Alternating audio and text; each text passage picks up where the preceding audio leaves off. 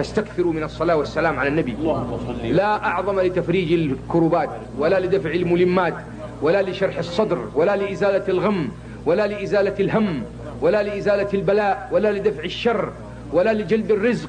لا أعظم من ورد الصلاة والسلام على الرسول صلى الله عليه وسلم التي التي لا تحتاج إلى شيخ ولا تحتاج إلى طريقة ولا تحتاج إلى إجازة ولا تحتاج إلى كيفية. بل إن الله تعالى أجاز الكون كله فيها. فقال يا أيها الذين آمنوا صلوا عليه وسلموا تسليما.